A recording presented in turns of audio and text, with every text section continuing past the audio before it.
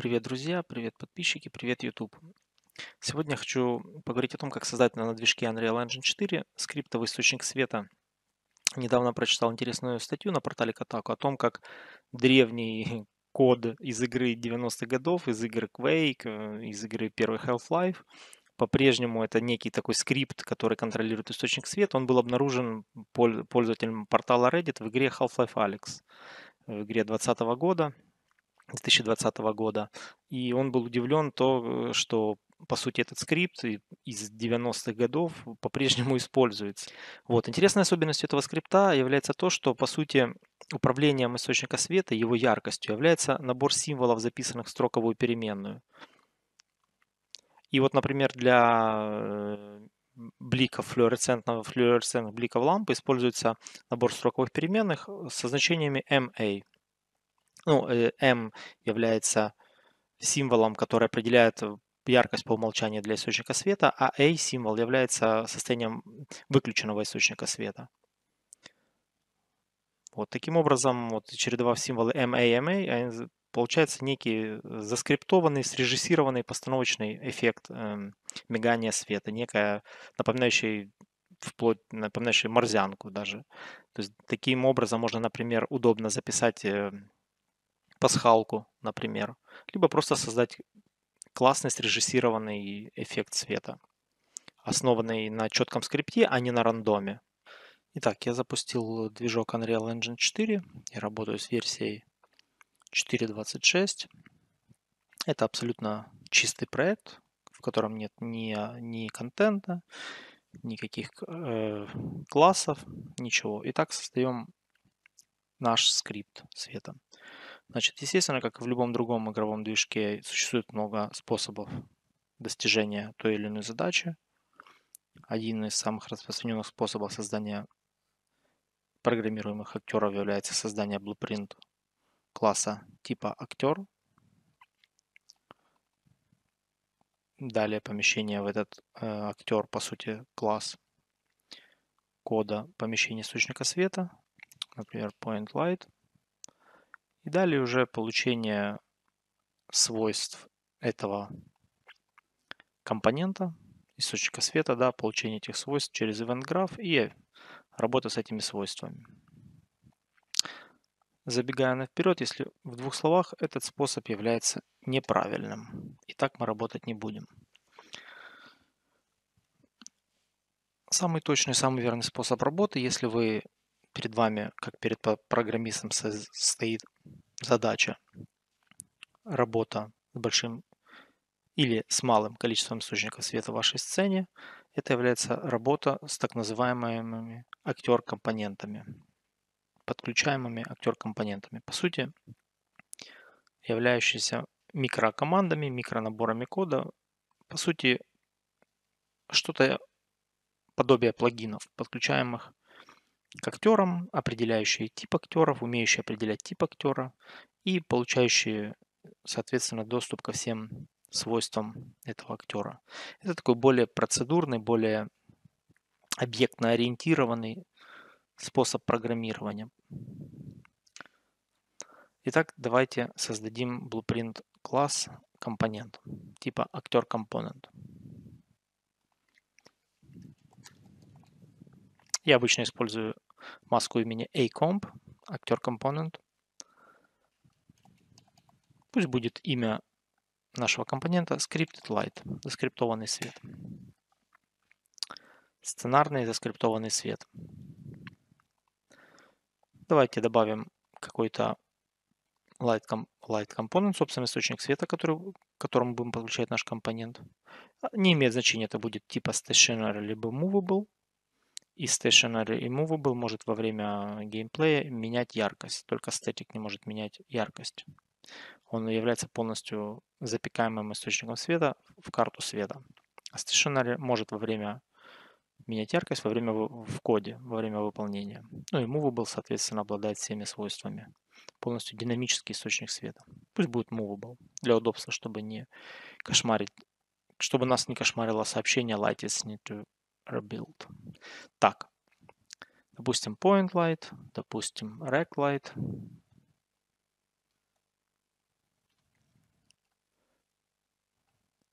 И к ним мы сможем подключить наш компонент. Давайте подключим. Возьмем наш источник света, напишем acomp и подключим наш scripted light component. И также его подключим и сюда.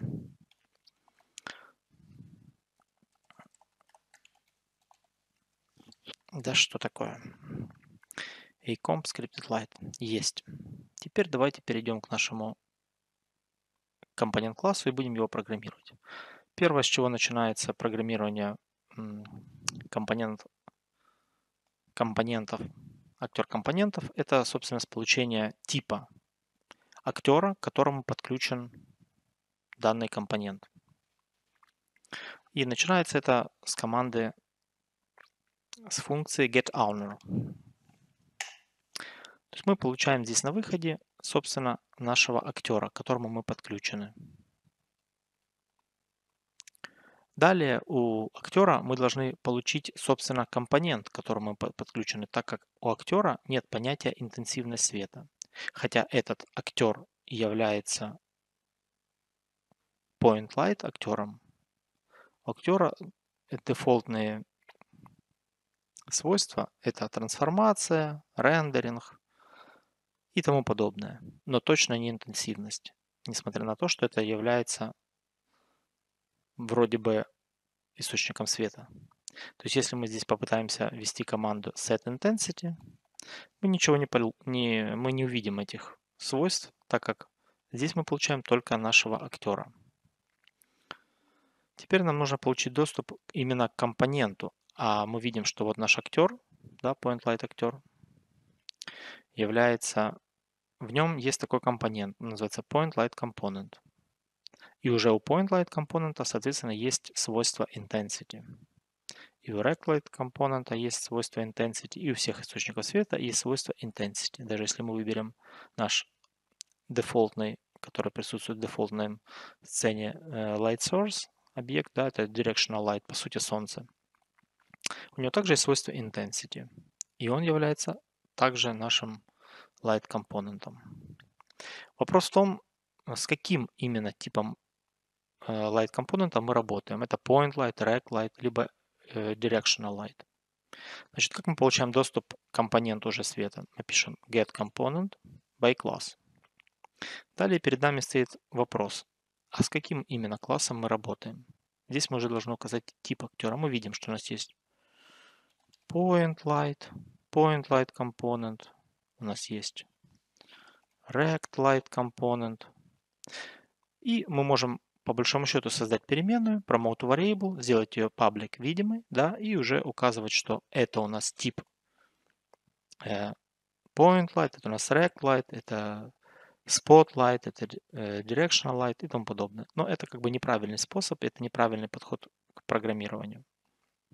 Нам нужно научить наш скрипт автоматически распознавать. Для этого мы обратимся не к фактическому дочернему классу, который присутствует здесь, это вот, например, point component, а обратимся именно к parent классу, к тому, от которого унаследован этот point light. А parent классом является для всех источников света в Unreal именно light component. Он так и называется, light component.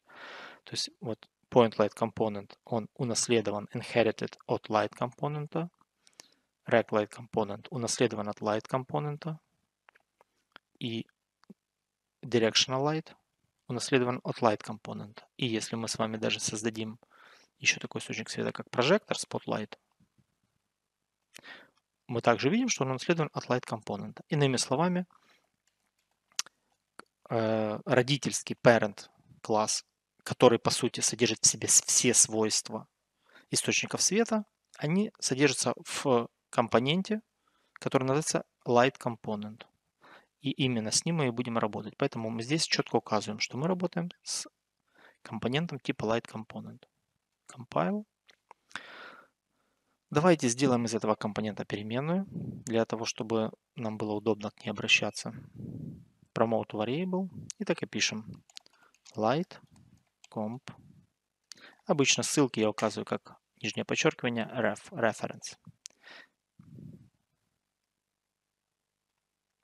Private variable.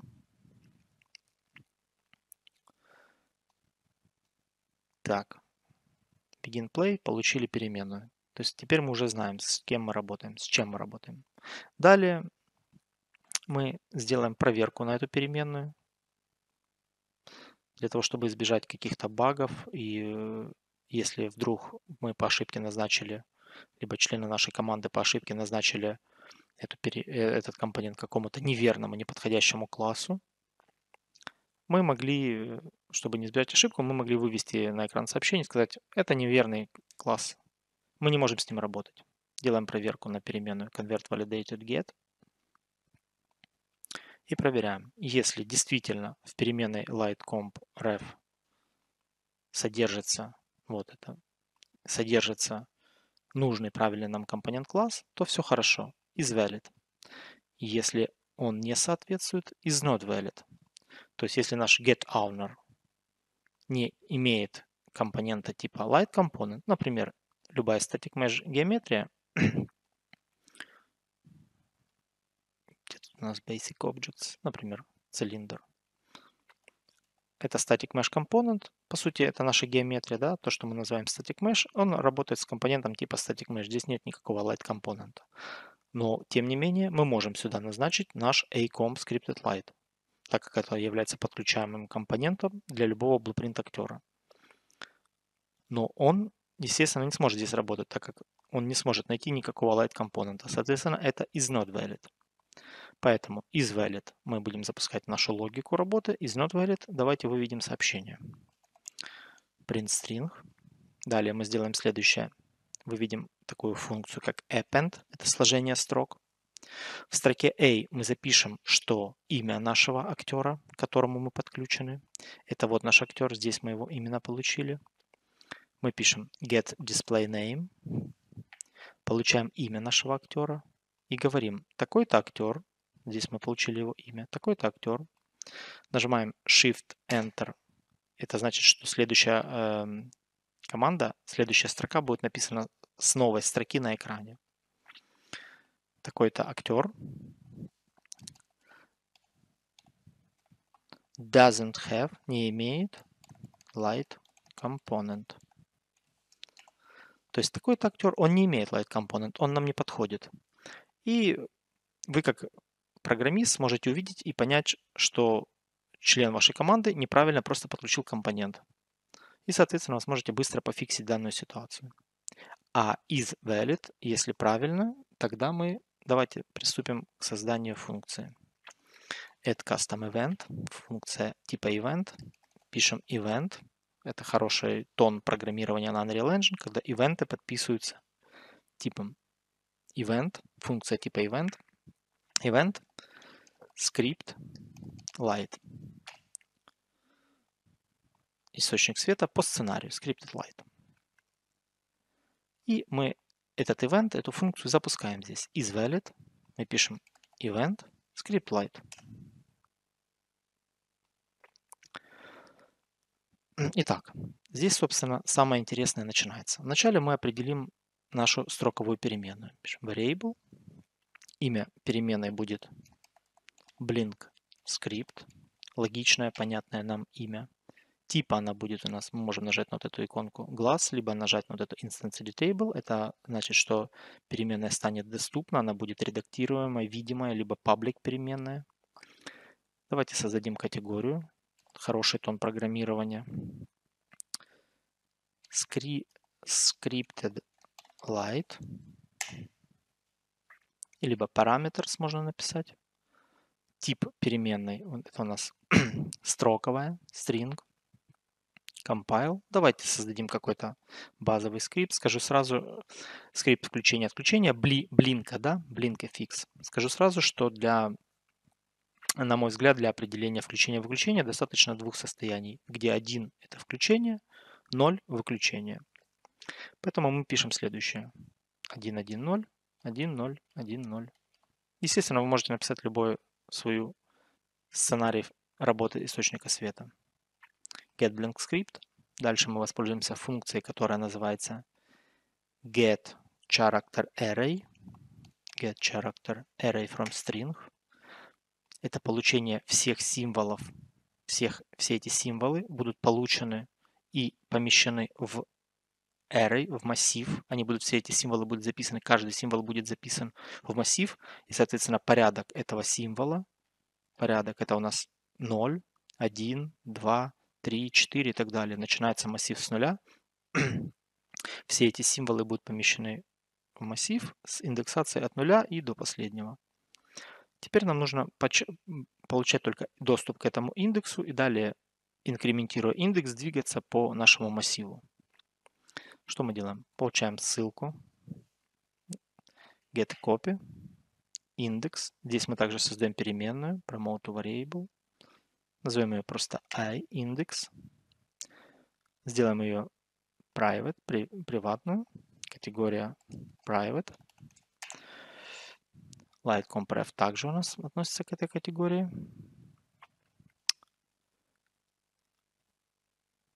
Итак, здесь у нас уже, э, здесь уже у нас содержится наш символ.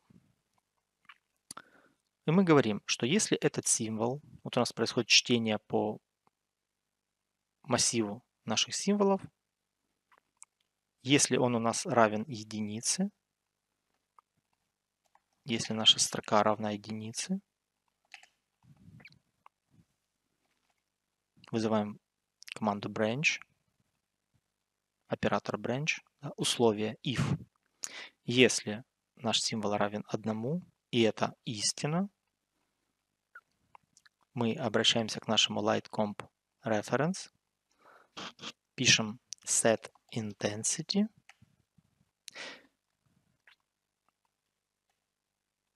Теперь смотрите, здесь э, такой важный момент. Мы можем указать в виде переменной нашу интенсивность и сказать, пусть будет интенсивность, например, 10, и либо 5, либо можем взять random float and range. Я люблю работать более автоматизированно, чтобы код как бы умел брать из просто из viewport данные какие-то минимальные и с ними работать. В данном случае пускай наша интенсивность, которую мы указываем в этой ячейке, и будет являться нашей как бы максимальной интенсивностью, иными словами, состоянием on. Для этого нам нужно создать локальную переменную. Вот здесь вот. Например, здесь. До уже проверки на валидацию. Вытянуть эту переменную, возьмем наш lightcompref, он у нас уже есть, либо мы можем отсюда получить get intensity, get intensity, то есть мы уже можем получить интенсивность, помещаем ее в локальную переменную, назовем ее intensity def intensity. Обычно такие переменные я называю так вот def с маленькой буквы, нижнее подчеркивание и уже имя свойства объекта уже именно с большой начинается def intensity. Ну, а вы, конечно, называйте, как вам будет удобно. То есть я поместил это в дефолтное значение, и теперь это дефолтное значение, я просто здесь его использую. Что состояние включения равно переходу нашей значения интенсивности вот в эту цифру, которую мы здесь указываем. Она есть, этот параметр у любого источника света. Есть, мы лампочку включили. Если наш символ не равен единице, вот он, наша линия выполнения кода files, да, если не равен, то давайте просто скопируем этот код, Ctrl-C, Ctrl-V, и мы оставляем поле intensity со значением 0. Далее у нас происходит некая задержка, определенная как условно фаза света, либо фаза выключения. Команда delay это вот, кстати, одна из причин, по которой я использовал именно custom event, а не функцию, так как в функциях нельзя использовать явно delay.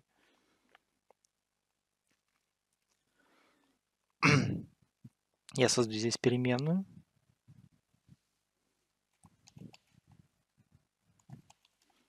Длина фазы. Делаю типа private. Упс, нет, это у нас не private, это у нас public, public. Она у нас будет в scripted light. И также у нас этой фазой является наше отключение. По дефолту мы оставим значение 0,2, которое предлагает нам Unreal. Это означает, что если мы хотим в сценарии сделать после того, когда у нас обнаружился в массиве значения 0, мы хотим сделать задержку в одну секунду, это значит, что нам нужно сделать следующее. Допустим, 1 у нас включился, если нам нужно потом задержка в одну секунду, мы делаем просто 5 нулей. Почему 5 нулей? Мы просто берем нашу единицу, то есть 1, да, как бы 1 секунда, делим ее на значение fazlength, в данном случае 0,2, и получаем, что 1 поделить на 0,2 получается 5. Это значит, что 5 нулей состоит в 1 секунде. То есть, допустим, включились на 1 пятую секунды, погасли на секунду, включились 0,4 секунды, выключились на 0,2 и опять включились. Выключились, включились. Вот такой, допустим, код. Конечно, как вы хотите, такой и пишите на ваше усмотрение.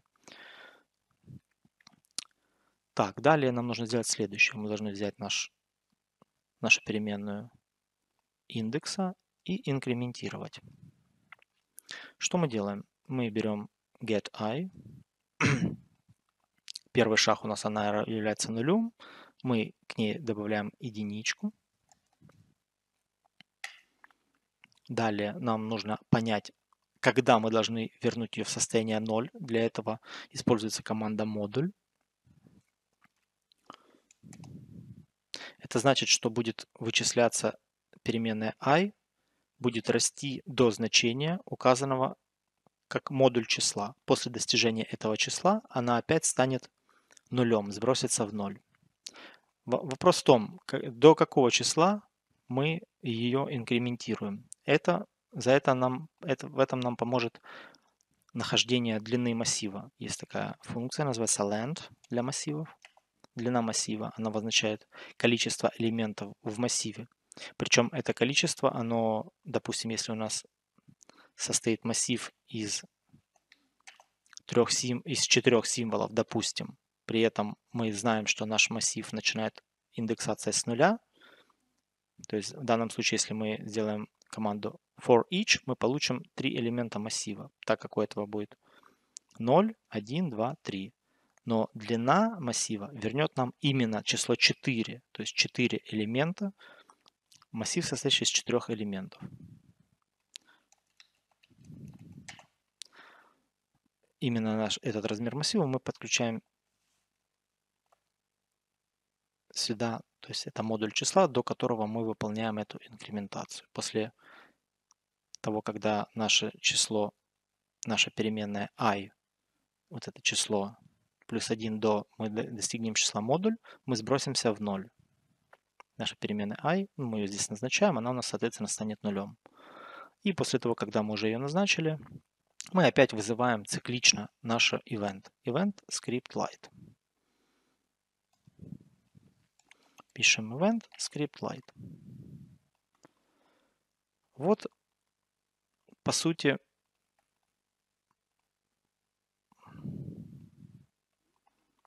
Вот, по сути, и весь наш компонент. Актер, то бишь рабочий плагин для движка Unreal Engine, отвечающий за скриптовое программирование источников света. Давайте, конечно же, мы его проверим. Возьмем наш Point Light, сделаем максимальное значение, пусть будет 15, дадим ему цвет желтый. Возьмем наш Spotlight, сделаем его каким-то синим. Такой, или можно тоже какой-то красный прожектор. Пусть будет 50. А здесь, допустим, наш Rect Light будет очень ярким, и он будет у нас холодный источник света. Мы им всем подключим компонент Scripted Light. И давайте теперь введем, у нас есть тут, естественно, дефолтное значение. Например, этот у нас будет объект источник света. Они все разные источники света, но наш код умеет автоматически их все определять. Введем значение, например, такой скрипт. Включились на одну секунду, погасли. Включились, погасли. Такой код. Здесь давайте тоже введем какой-то рандомный код. И для ReactLight также введем рандомный код.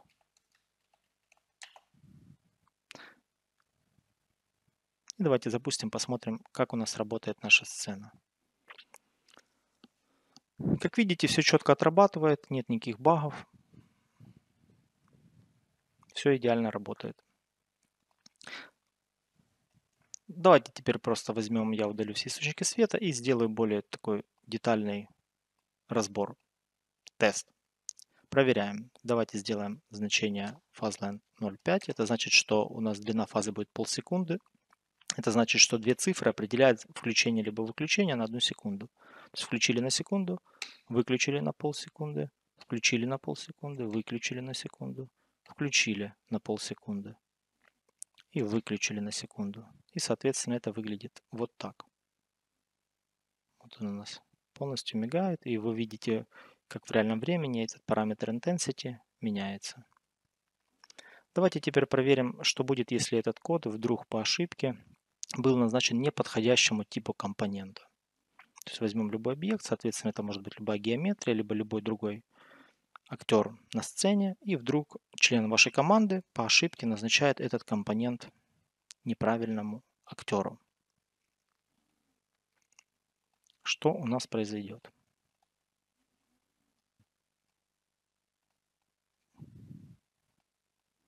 Вот наш объект, вот наш компонент. Мы запускаем, и мы видим, что сфера doesn't have light component. То есть мы четко понимаем, что наш объект с именем, он не работает. И, соответственно, у нас в лог пишется ошибка ошибка. Причем, чтобы вы понимали, это имя не обязательно может быть сфера, это любое имя, которое находится в фактически имя на сцене объекта. То есть, если вы напишете, например, там my sphere актор и запустите, он скажет, что my sphere актор doesn't have light component. И вы четко находите здесь этот, этот, этот актер и понимаете, что именно с ним какой-то непорядок. Соответственно, вы отключаете компонент, запускаете сцену, и вы видите, что все четко отрабатывает.